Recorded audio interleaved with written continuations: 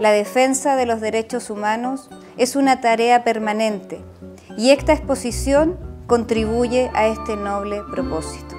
Miguel Launer, prisionero de guerra, Isla 54. Santiago, 13 de agosto del 2015.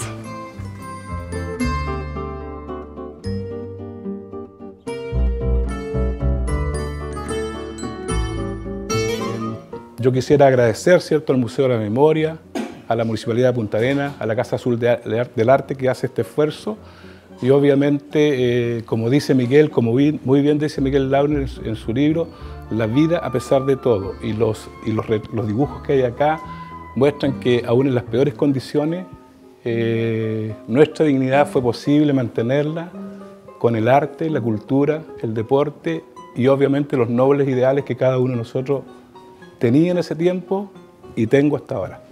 Esta situación de los derechos humanos debe ser pasado a nivel de todas las escuelas, desde niños a más mayores, digamos, para que sepan lo que sucedió en Chile y para que nunca más en nuestra patria vuelva a suceder lo mismo. De manera que yo invito a todas las personas que estamos acá a que hagamos pública esta exposición, invitemos a, a muchas personas a que la vengan a ver.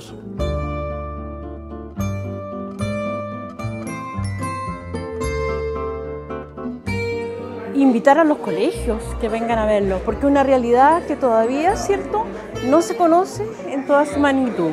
Qué importante que es que se esté mostrando acá y que estén los testimonios de, de las personas que estuvieron ahí. Eso me tiene realmente emocionada y ojalá que todo Punta Arenas pueda visitar la muestra. Es una oportunidad que Punta Arenas debe aprovechar, eh, ojalá que asista mucha gente a la muestra, que, que presencie este trabajo porque es una, parte de la historia y, es, y esto ayuda, eh, como agrupaciones ayuda, eh, consideramos que es un aporte esencial a la, a la, memoria, al rescate de la memoria y a la apreciación en, la, en el sentido educativo que esto tiene.